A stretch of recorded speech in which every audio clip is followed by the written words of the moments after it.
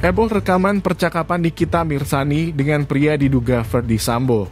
Percakapan telepon tersebut beredar dan viral di media sosial. Dalam video beredar, Nikita Mirsani disebut meminta bantuan kepada Ferdi Sambo terkait kasus KDRT. Uh, enggak, aku tuh baru dapat surat panggilan dua hari yang lalu jadi tersangka.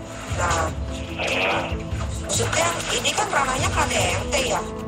Percakapan tersebut diduga terjadi saat Nikita Mirsani berperkara di Polres Metro Jakarta Selatan beberapa tahun lalu atas laporan mantan suaminya, Dipolatif. Pengacara Nikita Mirsani, Fahmi Bacemit membeberkan suara perempuan dalam rekaman percakapan telepon itu adalah kliennya. Namun, ia tidak mengetahui siapa laki-laki lawan bicara Nikita Mirsani. Menurut Fahmi Bacemit, Nikita Mirsani dalam percakapan itu sedang curhat atas perkara yang dialaminya.